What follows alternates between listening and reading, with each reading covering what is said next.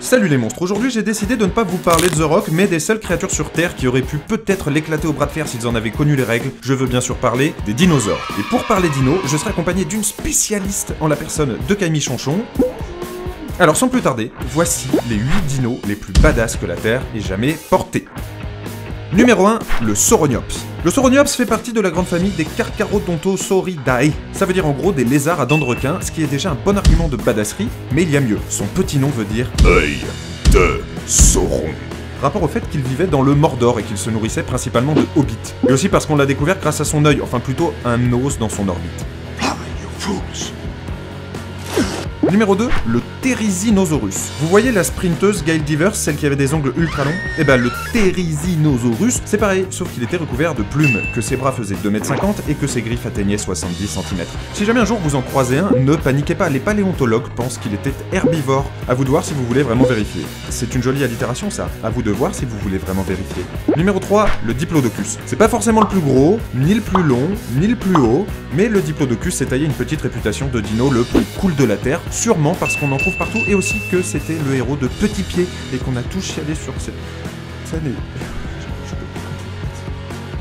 Numéro 4, le Quetzalcoatlus. Si vous foutiez un serpent, un héron et beaucoup d'alcool dans un labyrinthe, vous pourriez vous retrouver avec cet immense truc volant que les mecs de Dinotopia chevauchent parce qu'ils ont clairement compris qu'on était face au meilleur dino point à la ligne. Le Quetzalcoatlus tire d'ailleurs son nom d'un dieu aztèque, donc c'est clairement autre chose que votre chat Anakin ou votre chien Patrick. Là on part quand même sur quelque chose de qualité euh, premium finalement. Numéro 5, le Tyrannosaurus Rex. Je vous entends déjà vous moquer de ses petits bras parce que c'est la mode sur internet de se foutre du T-Rex. Regarde, il peut pas peindre sa maison, il peut pas prendre de selfie, il peut pas se gratter les pieds. Ok, c'est vrai. Par contre, il peut faire une guirlande de ton intestin grêle avec ses petits bras à la con et il peut détacher ton corps de ta tête. Et là, on verra qu'il peut plus prendre de selfie. Numéro 6, le Styracosaurus. Si on prend l'échelle de la corne, il y a les petits joueurs qui en ont une, comme les rhinocéros indiens. Puis il y a ceux qui en ont deux, comme les Watusi. Ou trois, comme le Triceratops à la limite. Et puis il y a ceux qui ont décidé de jouer le coup à fond, comme le Styracosaurus et ses six cornes pouvant atteindre 60 cm de longueur. Et comme ça ne suffisait pas pour se faire remarquer, il paraît que le Styracosaurus avait une collerette aux couleurs très voyantes, histoire de bien montrer qui c'était, le roi de la corne.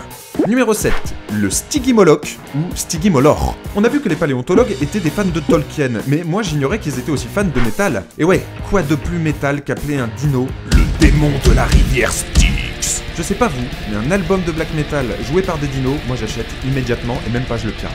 Numéro 8, le Triceratops. Je sais pas trop pourquoi, mais le Triceratops est le dino préféré de Chonchon qui m'a obligé à le mettre dans cette vidéo, du coup je la laisse se démerder avec son herbivore, moi je vais faire une micro-sieste. Voilà, je pense qu'on a fait un bon tour d'horizon des grosses bêtes à écailles et à plumes. Moi je vous laisse, j'ai l'album de Stygimolor à chroniquer. Ciao